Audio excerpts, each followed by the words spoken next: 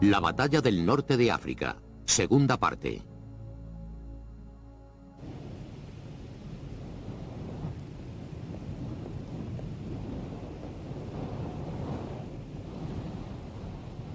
Mientras la unidad acorazada Panzer germano-italiana se preparaba para la inminente ofensiva británica, en el Alamein las tornas comenzaban a girar finalmente en la batalla del Mediterráneo central.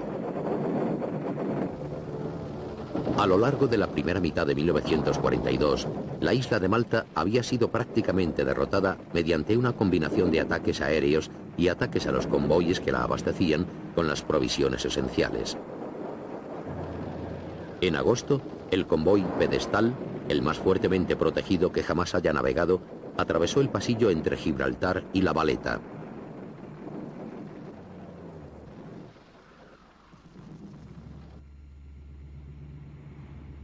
De los 14 barcos mercantes que partieron, solo 5 llegaron al puerto maltés. Pero las provisiones que transportaban fueron suficientes para mantener a Malta en la lucha.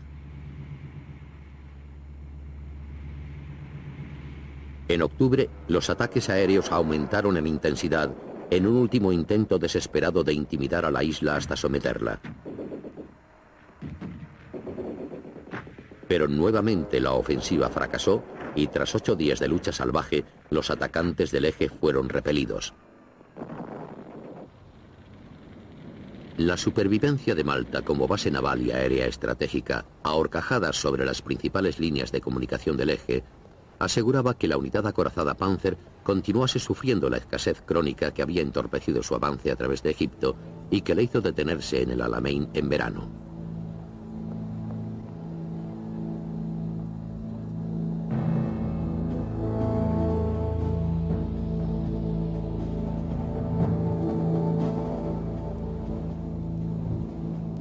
En la víspera de la batalla de El Alamein, la unidad acorazada Panzer sufría varios reveses entre ellos la ausencia de su comandante, que había servido por largo tiempo y era altamente respetado, y su pronunciada inferioridad material en hombres, equipamiento y provisiones, unido a una completa falta de inteligencia militar fiable.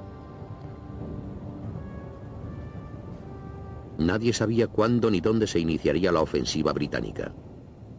Los comandantes superiores del eje podían hacer poco más que atender sus sectores y esperar que el golpe, cuando llegase, pudiese ser contenido.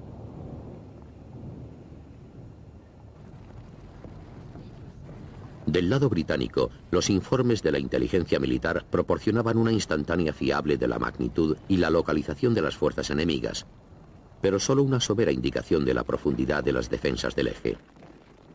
Si sobrevivían al asalto inicial, la ofensiva habría de ser reforzada o incluso reiniciada con tropas de refresco en otro sector.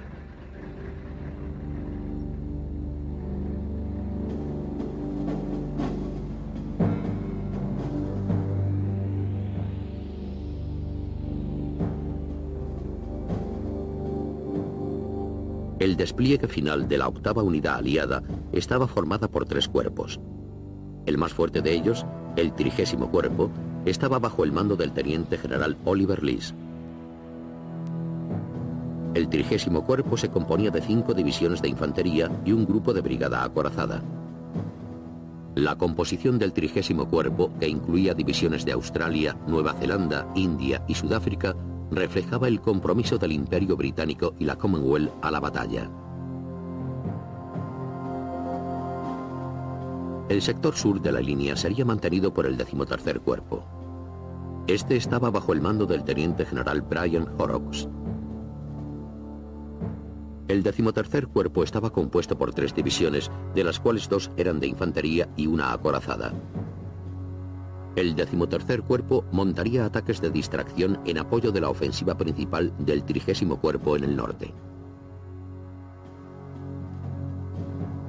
El décimo cuerpo constituía la reserva y estaba formado por dos divisiones acorazadas bajo el mando del teniente general Herbert Lonsden. La tarea del décimo cuerpo era la de aprovechar las brechas abiertas en el frente enemigo por la infantería de la octava unidad aliada. El apoyo aéreo estaría a cargo de la Fuerza Aérea del Desierto al mando del mariscal jefe del aire, Sir Arthur Tedder. Los escuadrones de Tedder debían proteger y apoyar los esfuerzos de la octava unidad aliada. Frente a estas fuerzas, la unidad acorazada Panzer, en ausencia de Rommel, estaba bajo el mando del general George Stumme y consistía en tres cuerpos italianos y uno alemán. El vigésimo primer cuerpo italiano estaba estacionado en el sector norte y estaba comandado por el general Enea Navarrini. El vigésimo primer cuerpo estaba formado por dos divisiones de infantería, ambas desplegadas en profundidad tras extensas fortificaciones y campos de minas.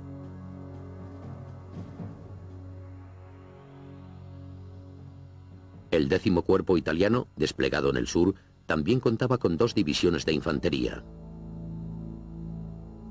El décimo cuerpo estaba bajo el mando del general Eduardo Neva, que esperaba el ataque principal de los británicos en su sector del frente. El vigésimo cuerpo italiano, comandado por el general Giuseppe de Stefanis, contaba con algunas de las mejores formaciones del ejército italiano. El vigésimo cuerpo estaba compuesto por cuatro divisiones, de las cuales tres se hallaban en la reserva táctica, dos divisiones acorazadas cercanas al frente y la división motorizada más atrasada. La división de paracaidistas de Folgore se desplegó en el flanco extremo sur.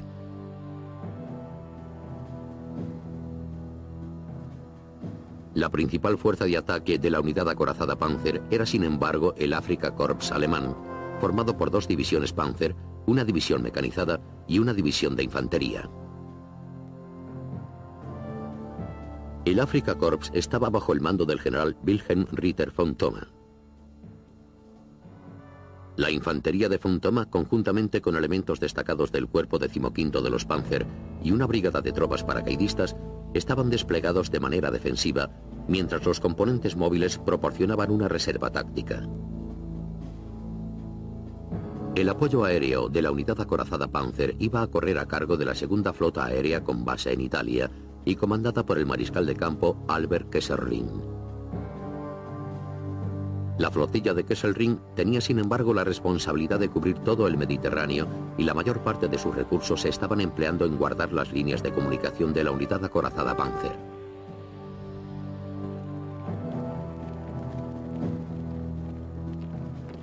Cuando la octava unidad aliada completó su despliegue final en el Alamein, ya había ganado la batalla del abastecimiento. Contaba con una superioridad material de 2 a 1 en hombres y con respecto a los tanques, armas y aviones, la diferencia era aún más pronunciada. En gran medida los héroes desconocidos del conflicto en el norte de África eran los oficiales y los hombres de la Armada Real Británica y los soldados, civiles y aviadores de Malta. Gracias a sus esfuerzos en el Mediterráneo central, habían dejado a la división acorazada Panzer prácticamente inmovilizada asegurando así que la próxima ofensiva británica tuviese las máximas posibilidades de éxito.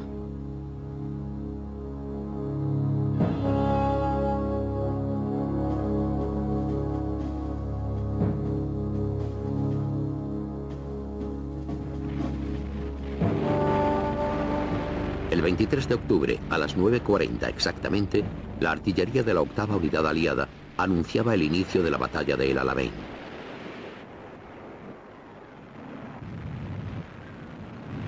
Durante 15 minutos, cerca de un millar de cañones golpearon la retaguardia del eje. Luego, tras una breve pausa para relevarse, empezaron a lanzar una cortina de fuego sobre el frente de las defensas.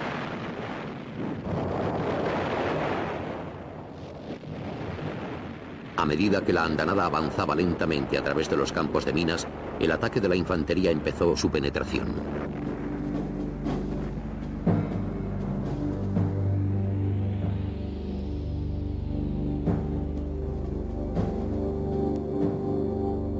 Ataque principal se lanzó en un estrecho terreno por cuatro divisiones.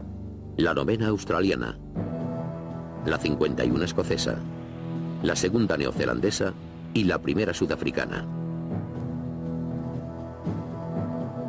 Enfrente tenían a la División de Trentino italiana y la 164 División alemana que sostenían fuertes posiciones defensivas en un complejo de fortificaciones y campos minados al norte y al este de la cordillera de Miteria.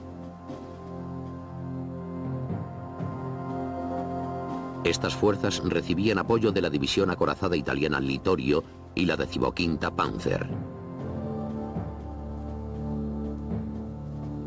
Avanzando tras el bombardeo, los zapadores de la infantería británica cubrían terreno rápidamente, abriendo senderos a través de las alambradas y avanzando con precaución a través del campo minado.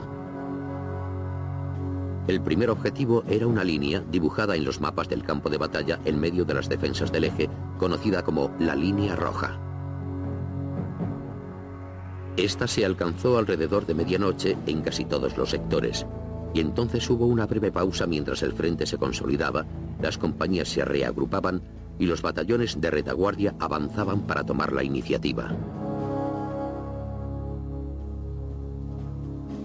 Mientras esto ocurría, la cortina de fuego de la artillería cayó sobre las posiciones del eje al oeste y al sudoeste, avanzando desde la línea roja hasta el objetivo final de la noche, la línea oxálica. Esta corría a lo largo de la cordillera de Viteria y luego doblaba hacia el norte en dirección a la costa. En las horas restantes de oscuridad, la infantería avanzó hacia estos objetivos mientras los zapadores abrían dos pasillos a través de los campos de minas. Sin embargo, a medida que transcurría la noche y los defensores italo-germanos se recuperaban de la conmoción, el ataque empezó a perder fuerza y el alba sorprendió a los británicos manteniendo posiciones en la mayor parte de los sectores a poca distancia de la línea oxálica.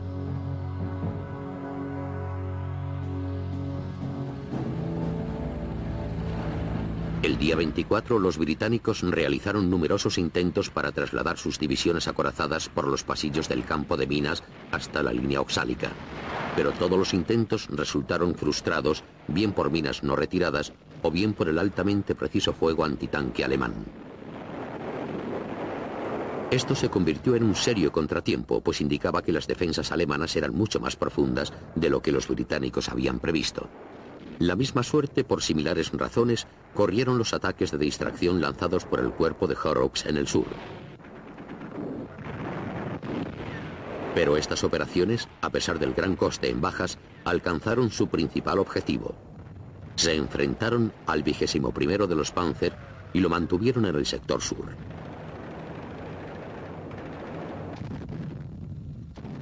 La situación en el lado del eje, aunque seria, no era aún desesperada. El caos y la desorganización que habían surgido con la primera andanada fueron controlados gradualmente. El general Stumme murió en las primeras horas del combate y von Thoma había asumido el mando de manera temporal hasta que Rommel pudiese alcanzar el frente.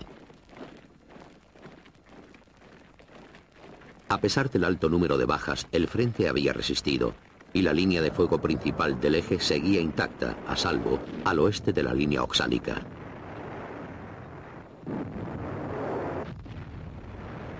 Durante el resto de ese día y la mayor parte del día siguiente, la lucha rugió incesante. El día 26, Rommel trasladó el vigésimo primero de los Panzer desde el sur para apoyar las defensas en el sector norte. A estas alturas, el empuje principal de los británicos era obvio. Tan solo la cantidad de fuego lanzada delataba sus planes. Pero el movimiento de las fuerzas acorazadas del eje al oeste de la línea oxálica amenazaba con bloquear dicho avance o cuando menos retrasar las previsiones del plan de Montgomery.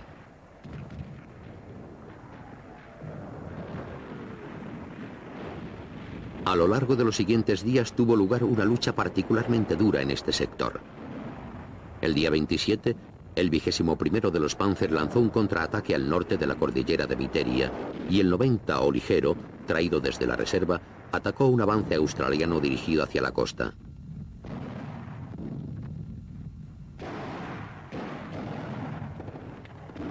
Ninguno de estos intentos tuvo éxito, pero la violencia de los ataques obligó a Montgomery a reforzar las operaciones australianas en el flanco, con la esperanza de detener la acumulación de fuerzas del eje en el centro y agotar así las reservas de Rommel.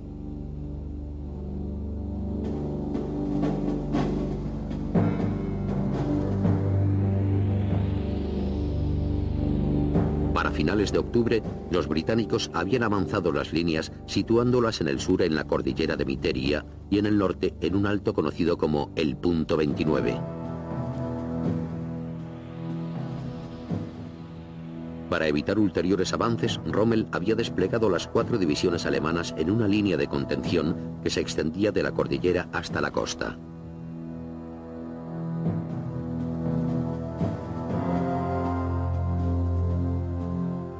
El 28 de octubre, la infantería australiana, apoyada por elementos de la décima división acorazada, lanzó un ataque desde el punto 29 hacia la costa.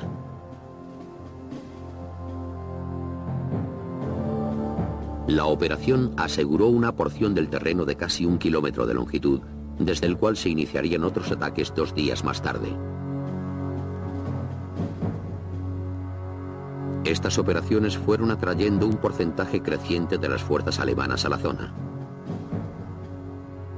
En particular, la 21 de los Panzer se estaba desmantelando paulatinamente. Algunas unidades fueron puestas en reserva, otras enviadas a mantener el pasillo de la costa. El sector sur de la línea estaba ahora casi por completo en manos de las formaciones italianas. Dentro del terreno ganado, Montgomery se había ocupado de reorganizar sus fuerzas. La segunda división neozelandesa había sido desplegada en la retaguardia de la 51 escocesa para tomar las posiciones abandonadas por los australianos mientras estos atacaban el norte. Parte de la 50 división fue enviada hacia el frente para reforzar a los escoceses y los sudafricanos se hicieron cargo de la defensa del flanco sur.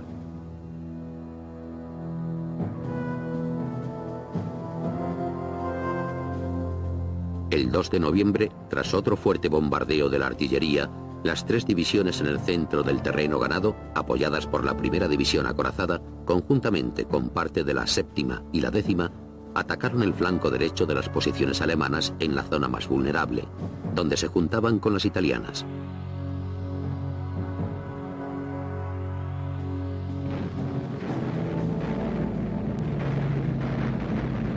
A mediodía, los británicos habían abierto una brecha en las defensas del eje de más de 3 kilómetros de profundidad. Su infantería de vanguardia y sus tanques se enfrentaron a las últimas defensas de consideración antes de llegar al desierto. Una barrera de artillería antitanque se situó en un alto al oeste. Tras los cañones, lo que quedaba de las divisiones acorazadas del eje se agrupó, preparándose para contraatacar. El ataque se lanzó desde el noroeste contra los tanques y los cañones de la primera división acorazada. Ambos lados sufrieron severamente, pero las reservas del eje estaban ahora agotadas y las pérdidas eran irreemplazables.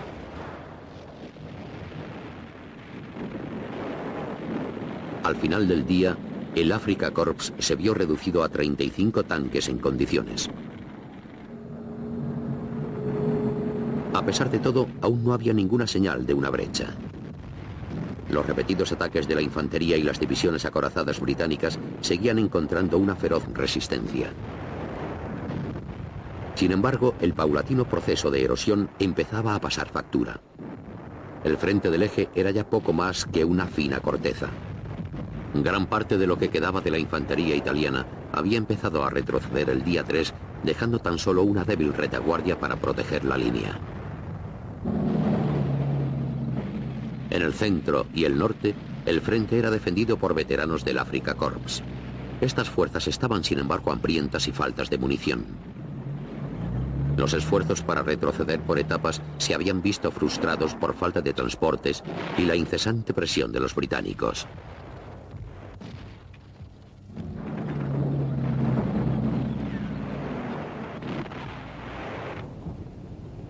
El 4 de noviembre, Fontoma fue capturado mientras luchaba junto a sus hombres en el frente.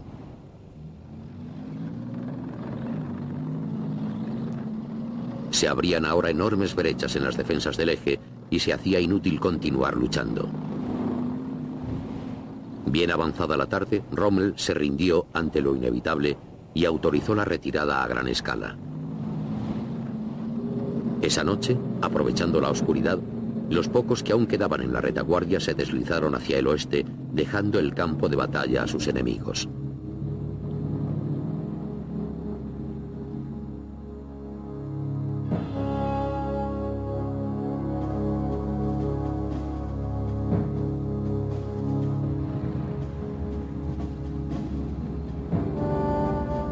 Mientras los castigados restos del ejército Panzer de Rommel se arrastraban hacia el oeste bajo un casi incesante ataque desde el aire, el segundo gran golpe contra el eje en el Mediterráneo estaba a punto de llegar.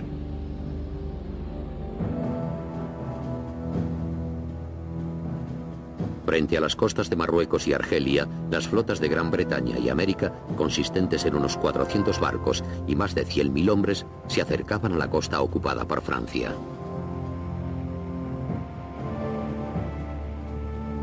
Al anochecer del día 7, los barcos de guerra y los transportes marítimos se dirigieron a los puntos de encuentro a pocos kilómetros de la costa.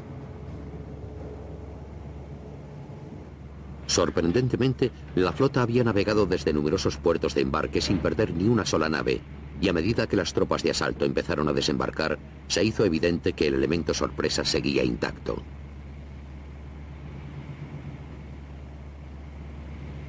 Sin duda se habían realizado diversos intentos al más alto nivel para asegurar el beneplácito de los franceses. Pero mientras los botes de asalto se acercaban a sus lugares de atraque, nadie sabía si dichos intentos habían tenido éxito. La reacción más violenta llegó tal y como esperaban los planificadores aliados de las unidades navales francesas, que eran conocidas por simpatizar con el eje. En los tres sectores, las baterías de la costa abrieron fuego sobre las flotillas invasoras y en Casablanca se unieron a estas las de los barcos de guerra franceses, incluido el Jean Bart, aún en construcción.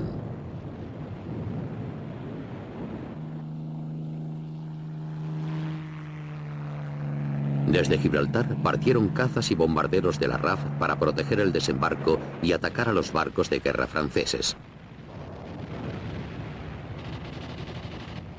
En comparación, la resistencia ofrecida por las guarniciones coloniales francesas fue ligera y en muchos casos meramente simbólica. En las playas de desembarco, el mayor peligro provenía de la marea y las impredecibles corrientes, así como de la falta de experiencia de los pilotos de las barcas. En el transcurso del día se perdieron más naves por accidentes, embarrancamientos y colisiones que por el fuego enemigo. Frente a la costa de Casablanca, el duelo naval duró varias horas, y fue aquí también donde los aliados encontraron una fuerte defensa en tierra.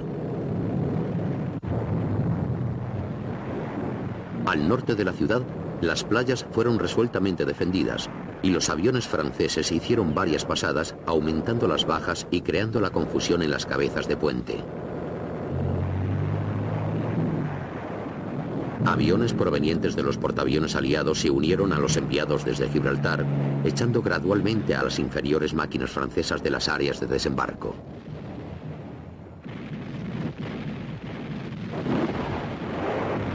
Al mediodía, todos los barcos de guerra franceses habían sido hundidos o incapacitados, y los cañones del Jim Bart habían sido puestos fuera de combate por una atinada salva del acorazado americano Massachusetts. Los aviones franceses aún se dejaban ver de manera intermitente en el área, pero de momento ninguna nave había sufrido daños de importancia.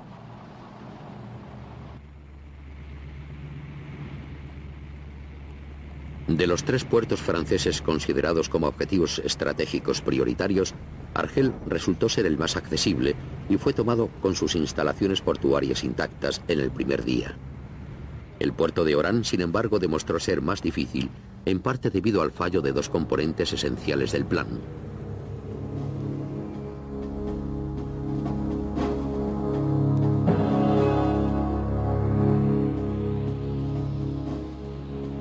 Los principales desembarcos aliados tuvieron lugar en los flancos en sectores relativamente tranquilos de la costa, al este y al oeste de Orán. Estos no tuvieron prácticamente ninguna oposición y las cabezas de playa fueron rápidamente establecidas. En cambio, una expedición de asalto en dos embarcaciones ligeras fue enviada a tomar el complejo portuario de la ciudad con un ataque frontal sorpresivo. Estos navíos fueron repelidos por las baterías costeras y los navíos de guerra franceses del puerto y fueron rápidamente destruidos. Otro componente del plan requería la rápida captura de dos aeródromos situados al suroeste de la ciudad. Estos debían ser tomados por fuerzas paracaidistas traídas desde Inglaterra, pero la gran distancia que habían de recorrer, el mal clima y la pobre organización hicieron que la mayor parte de estas fuerzas cayeran en el lecho seco de un lago de agua salada, demasiado lejos de su objetivo y demasiado dispersos para causar ningún efecto.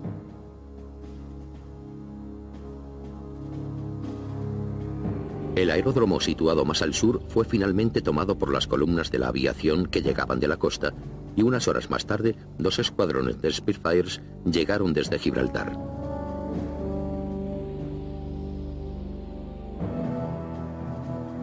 Al día siguiente, el aeródromo situado al norte fue capturado por unidades acorazadas americanas que avanzaban por el flanco norte del lago Salado. Y al atardecer, Orán y sus defensas costeras estaban completamente aisladas.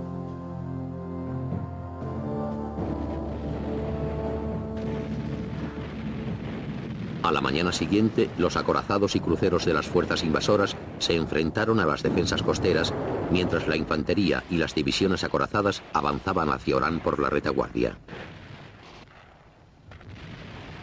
La lucha apenas duró unas horas, y al mediodía, la ciudad y su puerto estaban en manos aliadas.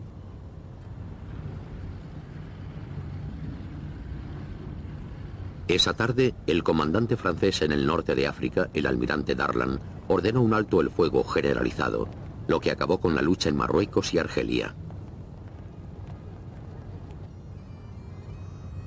Para los comandantes aliados, la prioridad primordial era ahora la ocupación y consolidación del Túnez francés, y algunos elementos del primer ejército del general Anderson fueron enviados hacia el este, por tierra y por mar, para hacerse con los puertos del este de Argel, Bougie y Bonn.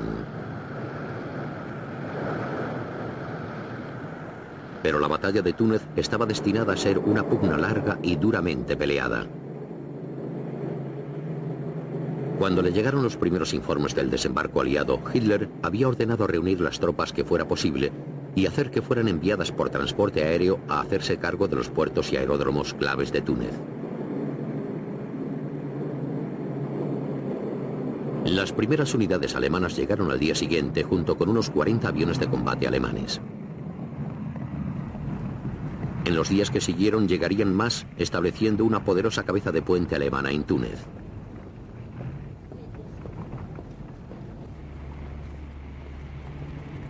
El día 11, Bougie fue tomada sin resistencia y las tropas británicas y americanas empezaron a desembarcar.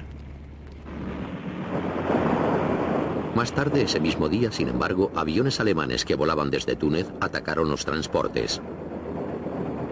Los ataques persistieron durante tres días, hundiendo varios barcos y dañando otros, y destruyendo enormes cantidades de equipamiento y provisiones.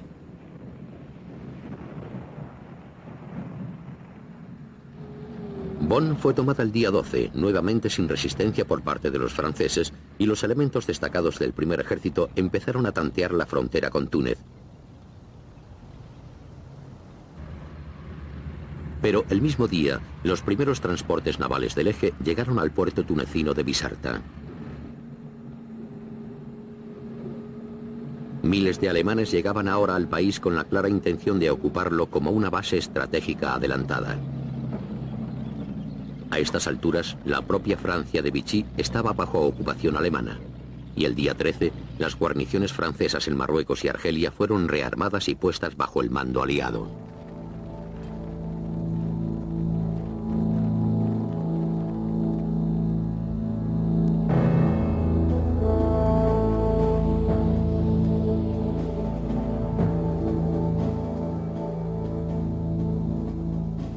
Retirada de la unidad acorazada Panzer de Rommel de las posiciones del Alamein se había llevado a cabo solo ante su inminente destrucción y en el último momento posible. Inevitablemente, mucho hubo de ser abandonado, incluyendo una gran parte de la infantería italiana, debido a una aguda escasez de transporte. Pero las divisiones más móviles alemanas, aunque considerablemente mermadas, habían escapado con al menos parte de su equipamiento.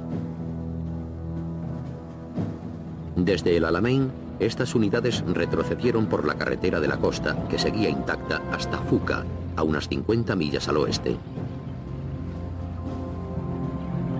La persecución británica fue inicialmente entorpecida por atascos de tráfico y por las inevitables dificultades logísticas al tener que asimilar una gran cantidad de bajas y de prisioneros. La retaguardia del eje, desplegada en el flanco del desierto, empeoraba estos problemas, y las unidades aéreas alemanas aprovechaban cualquier oportunidad para acosar y desorganizar a los británicos. Operaciones de recuperación y traslado ocupaban a las unidades de ingenieros que podían haber sido más útiles despejando campos de minas. Estos aún suponían un problema, no solo en el sector del Alamein, donde algunos sitios estaban aún densamente minados, sino también en Fuca, donde un viejo campo minado del que no había mapa alguno detuvo la persecución por espacio de varias horas, permitiendo a Rommel retroceder otras 50 millas hasta Mersa Matru.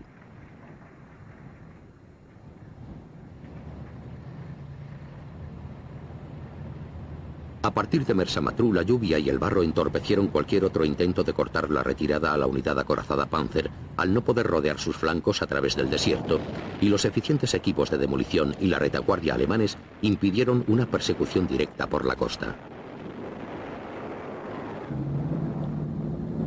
El 10 de noviembre, menos de una semana después de comenzar la retirada, los elementos supervivientes del ejército de Rommel cruzaron por la frontera egipcia a Libia.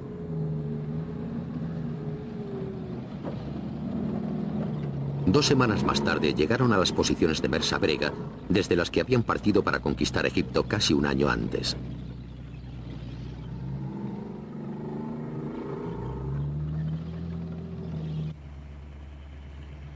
Mientras tanto, al otro extremo del continente, nuevos convoyes descargaban provisiones y equipamiento y desembarcaban tropas frescas. Se acumularon grandes reservas para sustentar a las fuerzas aliadas en su avance hacia el este. Hubieron de construirse aeródromos, caminos y almacenes de provisiones, a menudo de la nada, y se trajo material para completar el destrozado sistema ferroviario francés.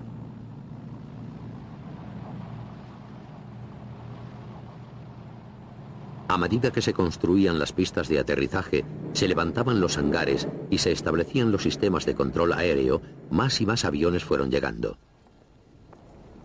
pero la cuidadosa planificación aliada pronto se vio superada por ciertos eventos. Aunque pequeños grupos aliados habían penetrado en Túnez pocos días antes del desembarco, no habían sido capaces de tomar los puertos clave desde el punto de vista estratégico de Túnez y Biserta. Estos estaban ahora firmemente en manos alemanas, y la guarnición francesa había sido desarmada o expulsada hacia las montañas. La acumulación de fuerzas alemanas en Túnez amenazaba con burlar la estrategia aliada de cortar las vías de abastecimiento de Rommel. De hecho, los puertos de Túnez estaban mucho más cerca de Italia que los de Libia. Las vías marítimas eran más seguras y la cabeza de puente más fácil de mantener.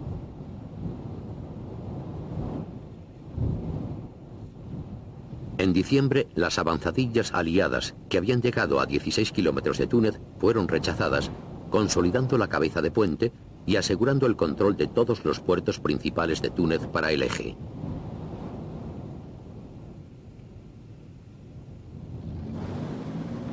Diciembre trajo también la lluvia, que cayó en abundancia en el noroeste, inundando caminos y convirtiendo el campo de batalla en un mar de barro.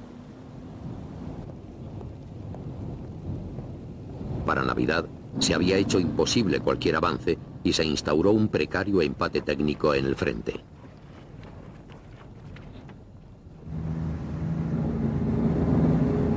En diciembre, Rommel abandonó las posiciones en Mersabrega y empezó una retirada escalonada a Biurat.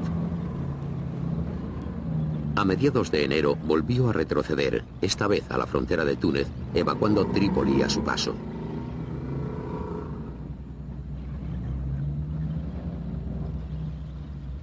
La octava unidad aliada alcanzó Trípoli el 23 de enero, un avance desde el Alamein de 2.200 kilómetros. Aunque Rommel y los restos de sus fuerzas habían escapado de la captura y la destrucción, Montgomery podía consolarse con el hecho de haber dado una sonada paliza a la unidad acorazada Panzer, destruyendo más de la mitad y obligando a huir al resto a través de Egipto y Libia.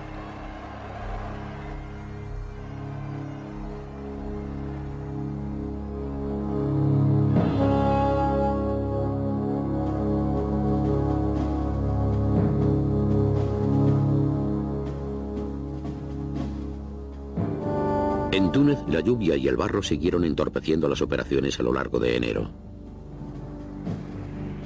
Esto era especialmente cierto en el norte, donde ningún bando era capaz de lograr avance alguno.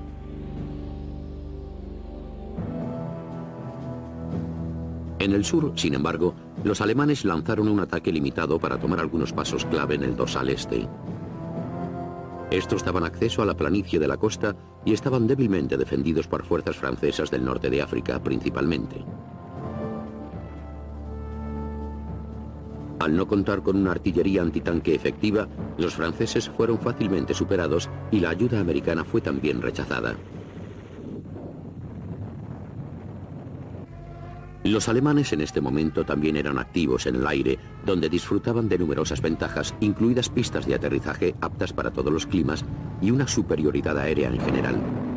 Los esfuerzos alemanes iban encaminados a interrumpir la acumulación de fuerzas aliadas, atacando sus líneas de comunicación y dañando o destruyendo sus aeródromos en el frente. La superioridad aérea de los alemanes les permitió sacar el máximo rendimiento de los Stukas y auténticos enjambres de estas naves atacaban con impunidad durante los primeros meses de la campaña. Durante la batalla de Túnez, las fuerzas aliadas en tierra se vieron constantemente amenazadas por estos ataques y un gran número de sus propios aviones se perdieron en el intento de alcanzar el equilibrio y eventualmente la superioridad en el aire.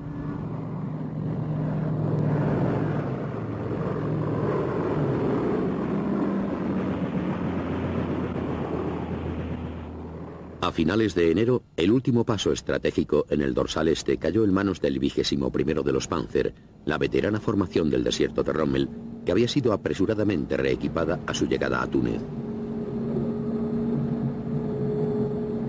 Con la captura del paso del Faid, los alemanes habían alcanzado todos sus objetivos iniciales, la consolidación de una poderosa cabeza de puente y la concentración de sus fuerzas. Estaban ahora en posición de tomar la iniciativa y lanzar una gran ofensiva.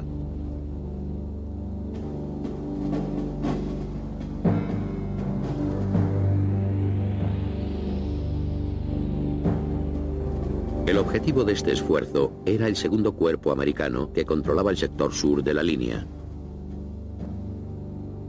El segundo cuerpo estaba desplegado en tres grupos acorazados que formaban un frente discontinuo. En febrero, el 14 y el 21 de los Panzer avanzaron desde el sur hacia el noroeste en dirección a Sidi Busid. Mientras tanto, el décimo de los Panzer, que había ocupado las posiciones del 21 en el dorsal este, atacó desde el paso del Faid en dirección oeste.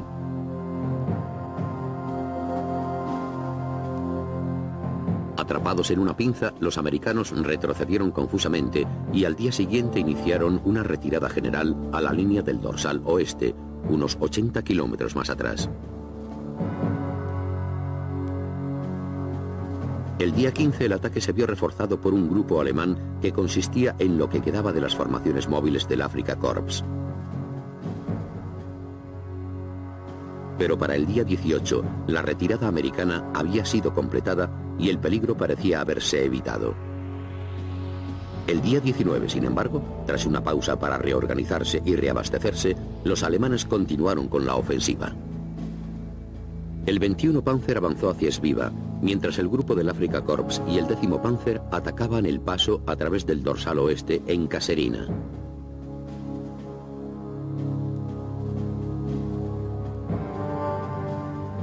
El paso cayó pronto el día 20 y para la tarde la infantería mecanizada y las divisiones acorazadas estaban cruzando el dorsal oeste hacia las relativamente llanas planicies que se encontraban al otro lado. Delante tenían dos ciudades clave. Tala, un enlace vital para el sistema de comunicaciones aliadas de norte a sur, y Tebesa, uno de los mayores almacenes de provisiones aliados en el este de Argelia. La velocidad del avance recordaba a los primeros ataques relámpago de Rommel en Libia y Egipto y produjo el pánico en el mando aliado. Si el Afrika Corps y el décimo de los Panzer llegaban a la frontera de Argelia y lograban atravesarla hasta la retaguardia del campo de batalla, podrían causar un caos inimaginable, tal vez incluso precipitar el colapso aliado.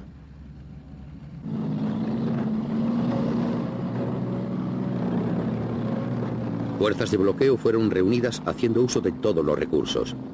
Artillería y tanques fueron llevados apresuradamente a la zona y la aviación de ataque a tierra de los aliados trabajó contrarreloj. La lucha salvaje, la confusión y el miedo caracterizaban estos combates. Las fuerzas de bloqueo aliadas eran comandos creados ad hoc y estaban formadas por elementos de diferentes unidades y divisiones. Británicos, americanos y franceses luchaban codo a codo bajo el mando del oficial que se hallara más cerca.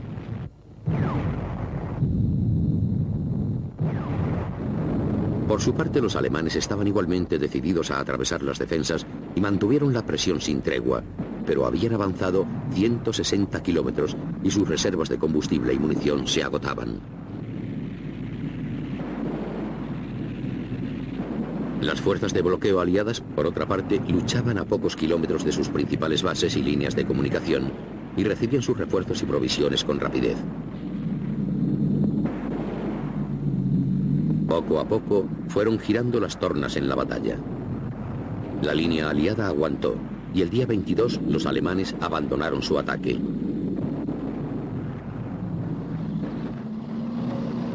Al perder la iniciativa, a Rommel no le quedaba otra opción que ordenar una completa retirada. La audaz apuesta había fallado, aunque fuese por poco, y los grupos Panzer serían necesarios pronto para apoyar las defensas en el sur ante la octava unidad aliada de Montgomery.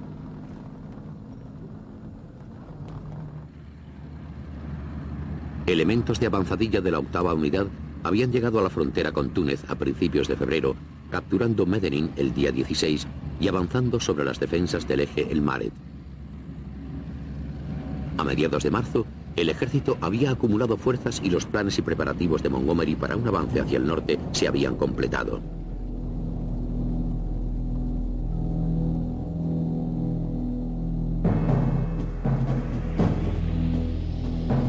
La clave de las defensas de Rommel en el sur era la línea de Maret, un complejo de fortificaciones conectadas entre sí, construido por los franceses en los años 30. Estas iban desde la costa, cerca de Maret, hasta las colinas de Madmata, a través de las cuales había muy pocos pasos. Al oeste de las colinas, sin embargo, había un trecho de desierto abierto que llevaba hasta el desfiladero de Tebaga y al pueblo del Hama.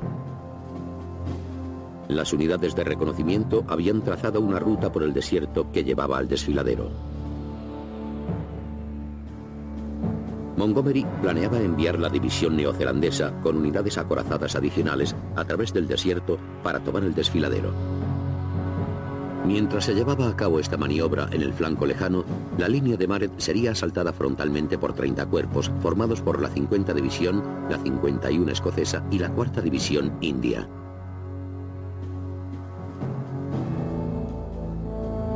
En reserva quedaban dos divisiones acorazadas de 10 cuerpos. Estas aprovecharían el eje de ataque que pareciese más prometedor y perseguirían a las fuerzas en retirada hacia el norte. Defendiendo la línea de Maret, Rommel tenía cuatro divisiones de infantería del primer ejército italiano, apoyadas en el centro por los veteranos del Afrika Corps del 90 ligero y protegidos en el flanco por los de la 164 división. Tras estos, en reserva táctica, estaba el decimoquinto de los Panzer. Pero tras la línea de Maret, Rommel tenía también una segunda línea potencial de defensa antes de las planicies abiertas del centro de Túnez. Cerca de Gabes, las infranqueables dunas de sal de Chotelfeyad llegaban a 30 kilómetros de la costa. Si era expulsado de las posiciones de Maret, Rommel planeaba retirarse solo hasta esta línea, donde el décimo y vigésimo primero de los Panzer se mantenían en reserva estratégica, listos para desplegarse en apoyo de la línea de Maret o de las posiciones de Gabes. Montgomery, sin embargo, había solicitado ataques de distracción por parte del segundo cuerpo americano desde el dorsal oeste. Al amagar hacia la costa, Montgomery esperaba atraer la reserva de los Panzer.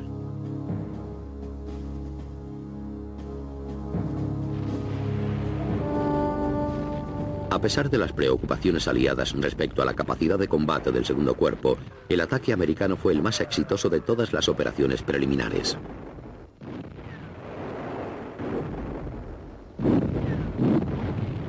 Avanzando desde el dorsal este, los americanos rápidamente superaron la débil oposición, tomando Gafsa y avanzando varios kilómetros por el camino que llegaba de Hafsa a la costa. Cuatro días más tarde se hicieron con el control de Magnasi en el dorsal este y enviaron patrullas a las colinas que la rodeaban. Mientras tanto, las operaciones de Montgomery en el sur habían corrido suertes diversas. El ataque principal sobre las posiciones de Maret se había visto envuelto en una dura lucha y la cabeza de puente tomada por la infantería había sufrido un duro contraataque por parte del 15 de los Panzer.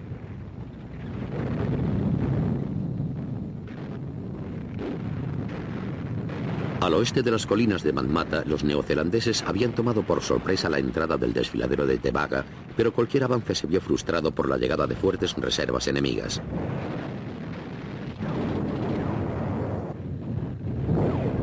Los americanos al sudeste de Gafsa también sufrieron un ataque por parte del décimo Panzer, pero el segundo cuerpo, ahora bajo el mando del general George Patton, estaba decidido a vengar las humillaciones de Caserina y luchó con habilidad y determinación, rechazando al décimo de los Panzer con graves bajas.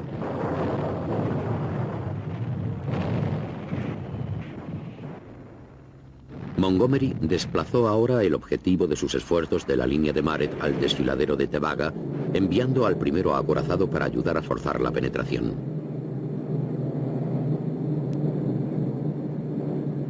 También se solicitó apoyo aéreo y el desfiladero se vio saturado por el bombardeo de la artillería y de la aviación. En la primera fase, el bombardeo aéreo táctico añadió cuatro toneladas al peso lanzado por la artillería, Luego, aviones de ataque terrestre llegaron del sudoeste, 30 de ellos cada 15 minutos, volando prácticamente a la altura de la cabeza y disparando a todo lo que se moviera.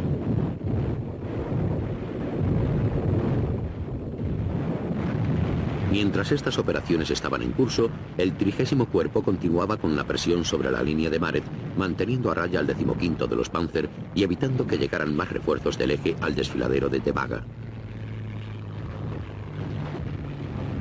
El 27 de marzo, el primero acorazado neozelandés casi había conseguido pasar el desfiladero a base de empuje. La resistencia sobre el frente del trigésimo cuerpo había disminuido de manera significativa a medida que las defensas del eje empezaron a retroceder hacia Gabes.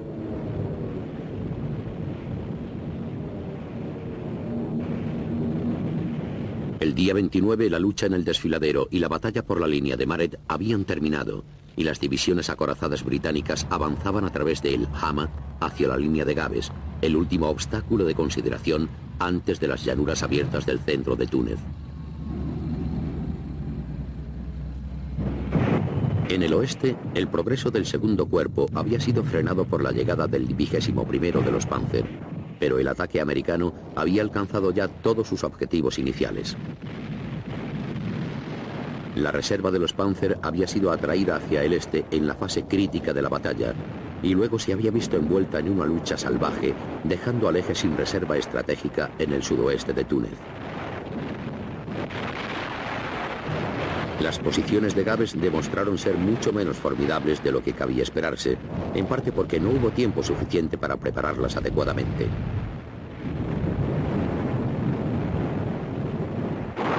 La batalla duró poco más de un día. Una brecha abierta por la infantería de la octava unidad aliada en el centro del frente fue nuevamente cerrada por el decimoquinto de los Panzer. Pero contra el fulminante fuego de la octava unidad aliada no había ninguna esperanza de mantenerla cerrada por mucho tiempo y no quedaba nada en la reserva.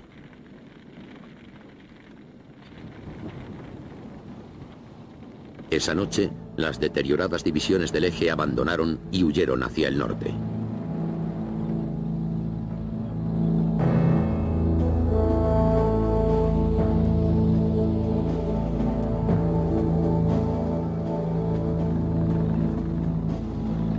Desde Gabes, los restos del otrora temido ejército Panzer se retiraron a través de las llanuras del centro de Túnez a la seguridad relativa de las colinas que rodeaban Túnez y Biserta.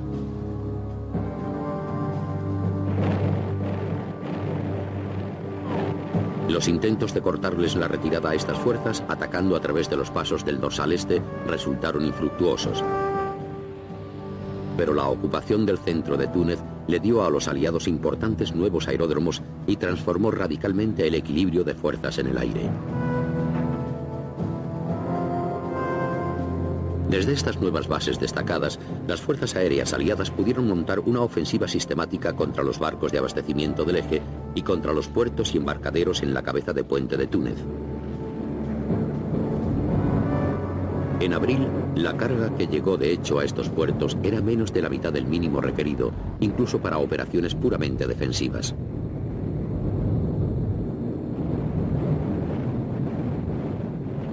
En contraste, los aliados habían aprovechado el parón invernal para acumular gran cantidad de provisiones y equipamiento, construir caminos y pistas de aterrizaje y reunir el número necesario de hombres y armas para una victoria decisiva.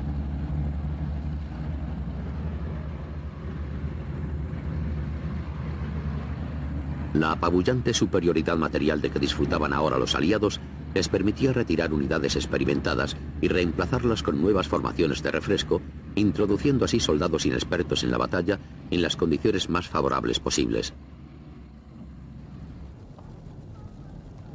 También reorganizaron su estructura de mando y redistribuyeron sus fuerzas a gran escala, incorporando fuerzas francesas y americanas para la ofensiva final, asegurando así que los honores de la victoria serían compartidos por igual por todas las naciones que componían la alianza militar.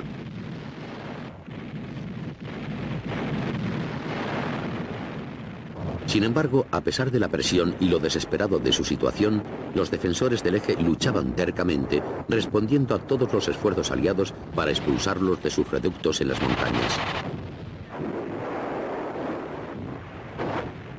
Al sur de Túnez tenían el terreno ideal para una defensa, una serie de colinas y barrancos donde se juntaban el dorsal este y oeste.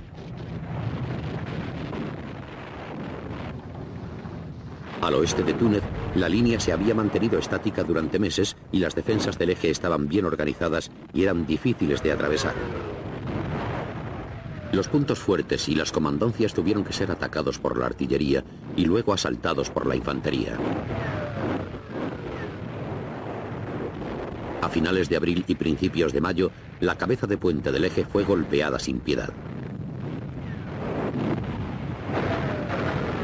Unas 16 divisiones aliadas montaron una serie de ofensivas coordinadas, mientras que sobre ellas las fuerzas aéreas aliadas bombardeaban, volaban y ametrallaban casi con total impunidad.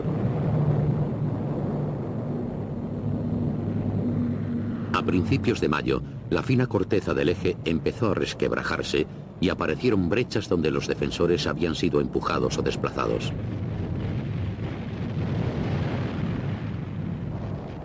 El 6 de mayo, un esfuerzo coordinado británico desplegado desde el sudoeste de Túnez aplastó al decimoquinto cuerpo Panzer, aniquilando prácticamente a la veterana formación del desierto.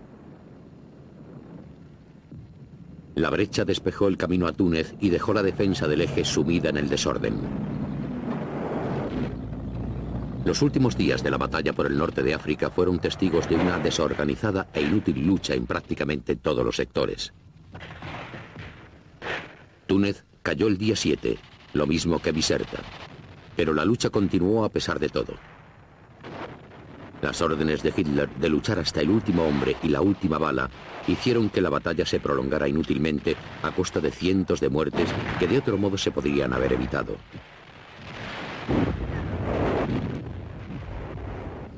Al sur de Túnez, en las colinas sobre Enfidaville, los restos del Africa Corps se mantuvieron hasta el día 13.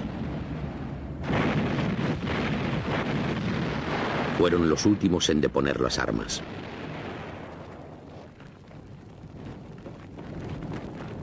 El último recuento de prisioneros hecho en los últimos días de la campaña de Túnez se aproximaba al cuarto de millón, la mitad de ellos alemanes. Algunos de estos soldados no habían hecho ni un disparo, pues habían llegado de Europa cuando la batalla por Túnez estaba prácticamente perdida. Tan grande había sido la determinación de Hitler de mantener una cabeza de puente en África.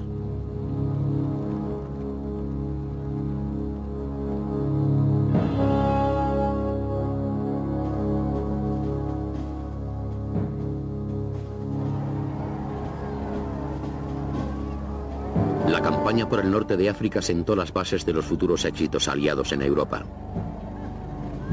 Los soldados americanos habían sido probados en el campo de batalla y tras los primeros contratiempos se habían rehecho bien y habían luchado valientemente. Las fuerzas francesas del norte de África habían sido recuperadas para el bando aliado, acabando con un largo periodo de forzosa neutralidad y permitiendo a los británicos y americanos asumir el papel de liberadores en lugar de conquistadores. Se estableció una estructura de mando aliada común y los diversos ejércitos se fundieron en una única fuerza homogénea. Pero el mayor logro de la campaña fue la escala de la victoria. Dos grandes unidades completas, una alemana y otra italiana, habían sido completamente destruidas y todo rastro del poder del eje había sido barrido del continente africano.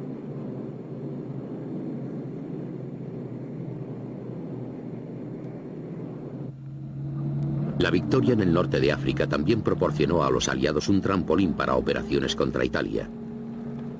En julio, una invasión aliada en Sicilia llevaría a la rápida dimisión de Mussolini y a los esfuerzos del nuevo gobierno por negociar un armisticio. Pero estos esfuerzos se vieron truncados desde el inicio. En septiembre, Italia fue ocupada primero por Alemania y luego invadida por los aliados. La consiguiente batalla por Italia sería una de las luchas más duras y prolongadas de la Segunda Guerra Mundial.